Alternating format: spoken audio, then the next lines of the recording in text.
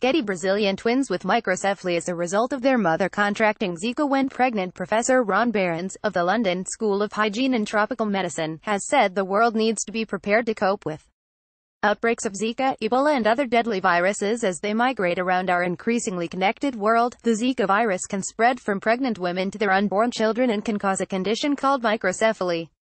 Microcephaly is a rare nervous system disorder which causes a baby's head to be small and not fully developed and, as a result, significant brain damage.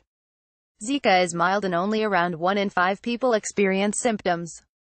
Although it can be particularly dangerous for pregnant women, for most people Zika is a mild disease.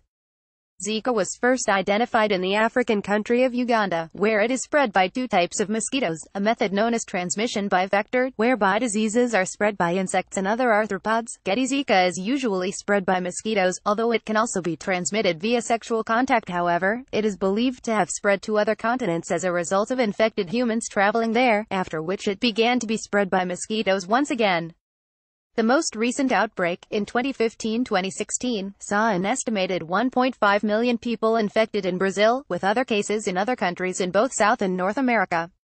So far Europe has been spared an outbreak, but Professor Behrens said if the virus begins using mosquitoes as vectors on the continent, the situation could get much more serious. He said, there have already been examples of vectors taking a disease from one part of the world to another.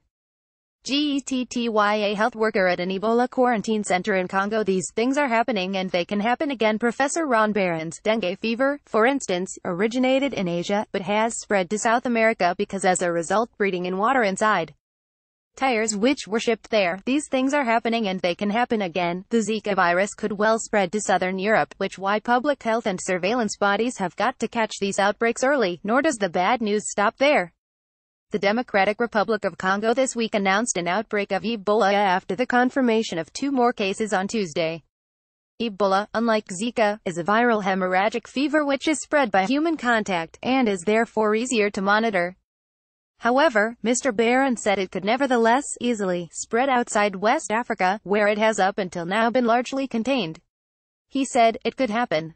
If you had an outbreak and it spread to a slum in a big city in Central America then it becomes very difficult to control its spread. Professor Behrens said the World Health Organization and other national and international health bodies were taking the situation seriously. He said, outbreaks are inevitable, the reaction depends on the quality of resources made available for public health.